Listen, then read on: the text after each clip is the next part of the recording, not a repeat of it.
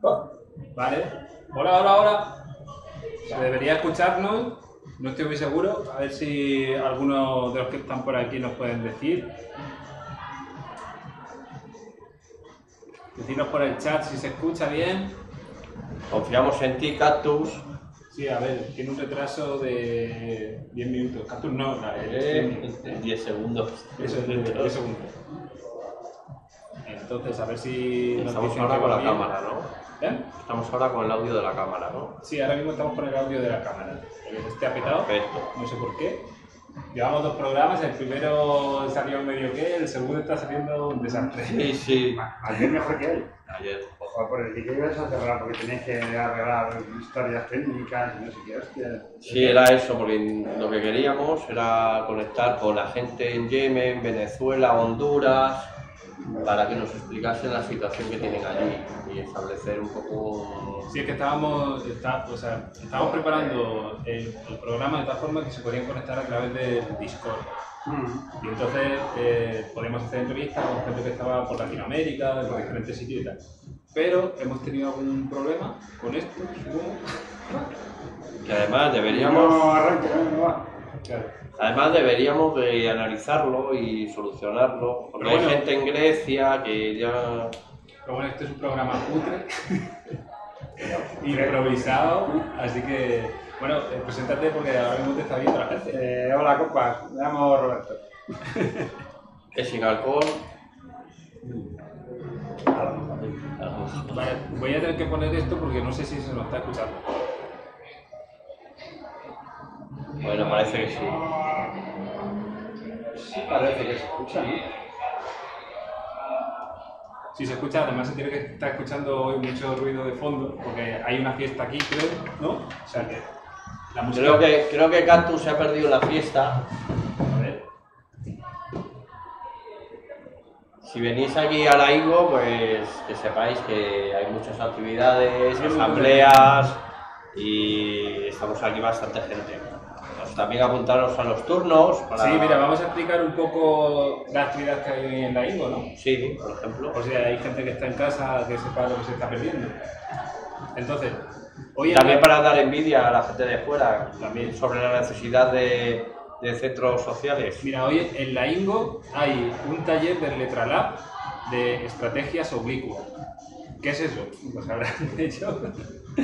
Eh, en Letralab esto está en el aula 3.8, o sea que tienen, están aquí al lado. Está aquí al lado. Están aquí al lado. Podemos ir luego a hacerle una visita. Una visita. Sí, a ver si funciona el Jitsi. Sí. Sí, de todas formas, tenemos ahí también planteado hacer algún curso de cocina con la gente de cocina. Sí, la cocina comunitaria. Eh, hoy también hay una presentación de Supercoop, que para quien no lo sepa es un supermercado coopera- de, co- cooperativista, lo entiendo. Eh, y esto se va a hacer en la sala 210, en la segunda planta. Esto empieza a las 7 y media, o sea que ya ha empezado.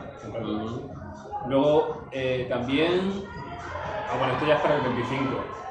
O sea, el 25 que es 25 de junio, martes, hay una asamblea abierta contra las casas de apuestas, que es un problema Sí, sí, que tenemos aquí, generalizado. aquí en Madrid, ahora mismo. Bueno, en, en Y hoy, y hoy se supone que tiene que estar carne cruda también por ahí, dando una vuelta, que está haciendo un programa desde aquí. Y creo que hay actividades también en el patio de Santorini, que van a hacer conciertos acústicos, y en la terraza, que están empezando a hacer las actividades de verano de la Ingo, que se, están haciendo cine en la terraza, poniendo alguna peli, no sé si toda la Sí, noche. ayer, ayer por la noche había película, hoy imagino que también. Están ahí comentando el cine de verano. No sé, a ver si nos dice alguien por aquí cómo va la cosa, porque no lo sabemos muy bien. Bueno, ¿y de qué colectivo eres tú, Roberto? Yo soy un poco de todo. Estoy en varios sitios. ¿Estás en varios de aquí de la Ingo? En la Ingo precisamente ninguno. Pero vamos, ya vine a hacer, he colaborado y estuve en Patio Maravillas, en Profesora Esta. ¿El Patio Maravilla? Dando una vuelta. Eres un, En un lo poco colaborado- apoyo de todas las luchas, ¿no? ¿Eh? Un poco de apoyo de, en todas En lo las que luchas. más he colaborado últimamente es en, en La Paz. En La Paz. En La Paz. El tema de desahucios sobre todo la parte financiera que toca. Ayer estuvimos con Oscar, con un compañero de aquí, que estuvimos Sí. hablando de las titulizaciones, pero es un lío que no veas, o sea que tenemos que... Sí, sí, el lío. Vi, vi el trozo que, que grabasteis y, y es complejo. Pasa es que si lo explicas un poco más sencillo, Sí, es lo que, es lo que hemos dicho, que vamos a preparar un guion y, Claro, y un un poco guion. esquematizado y tal para eso te poder, acaba el libro. Claro, para poder explicarlo bien. Y hoy hemos tenido también, hemos estado hablando con Monse hace un ratillo, por eh, un tema también de expropiación de las viviendas de, de un banco. Y bueno, hoy lo, lo que tene- teníamos pensado hacer era sobre todo el tema este del Discord, así que nos queda un poco, A medio. un poco cojo. para mañana. Sí, pero lo dejamos para Ya, mañana y ya ya. está. Pues, entonces, ¿qué hacemos? Eh, nosotros seguir hablando, sí, hay muchos temas. Yo creo que también eh, podéis ir eh, preguntando en el chat que tenemos en el canal de YouTube. Vamos a estar 24 horas por aquí. Estaremos a veces solucionando problemas técnicos para dejar esto más fino, pero vamos a estar aquí. Entonces, también si queréis alguna cuestión sobre programación en la propia ingobernable o que no sepáis que hay un día en concreto, pues también nos podéis preguntar a través de aquí, del chat de YouTube. Y bueno, si queréis participar también con alguna pregunta sobre lo- la materia que estamos hablando, en ese momento, pues es una buena herramienta, ¿no? Para... Ah, sí, mira, yo quería, quería hablar par de cosas porque yo estoy en el colectivo de eh, personas migrantes, de canal, canal Migrantes, Canal Refugiados, que se llamaba antes, y se va a hacer en agosto eh, la No Border Camp.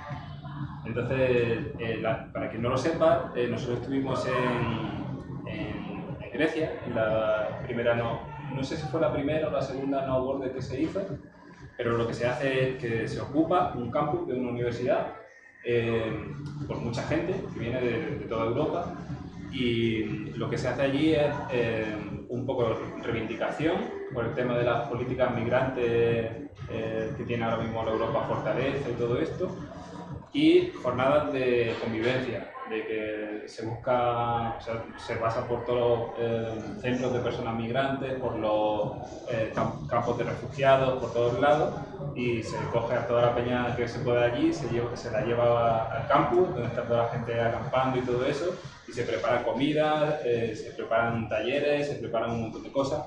Y este año se va a hacer en, en. Que se va a hacer. Entonces buscarlo, eh, buscar la información por ahí, la No Border Camps 2019, porque está muy bien. Nosotros vamos, este año vamos a estar allí otra vez. Yo este año me toca eh, seguir luchando, bueno, debido un poco a la situación que hay de falta de libertad de expresión y el encarcelamiento de Assange, pues bueno, pues me toca ahí eh, hacer, voy, me pongo huelga de hambre el 2 de julio y me haré de Estrasburgo a Bruselas andando en huelga de hambre acompañado por por varias personas de Alemania, varios activistas de Alemania y de aquí, España y Cataluña. Y bueno, pues eh, vamos a hacer la ruta que serán 50, calculamos que serán unos 50 o 60 días, O vais a hacer una marcha de Bruselas, de Estrasburgo a de Bruselas, Estrasburgo a Bruselas. que empieza el 2 de julio. Y bueno, pues iremos al principio 10-15 kilómetros al día y luego ya pues más lentillos. Entonces, mm, pues bueno, eso es huelga de hambre.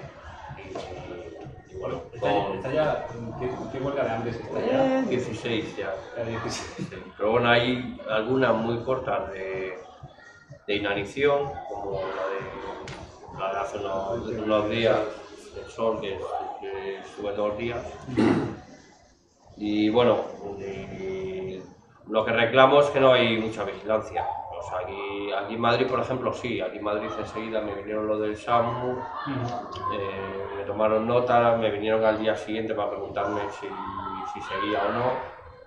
Pero ¿Y, la- y las reivindicaciones de la marcha que vais a hacer es por por la libertad de expresión. Libertad de expresión, Free speech, eh, free Assange, eh, free political prison, o sea, eh, Frío Labimi, o sea, un poco lo que es libertad de expresión. Son, pues, contra Lula, o sea, hay casos eh, muy sangrantes ¿no? de, de acciones represivas por parte de los estados contra, contra la opinión de, una persona, ¿no? Un cargo representativo, da, da igual, ¿no? Si eres un cargo representativo, si eres, tal, eh, digamos que hay una persecución a una línea concreta ideológica, eh, que no la hay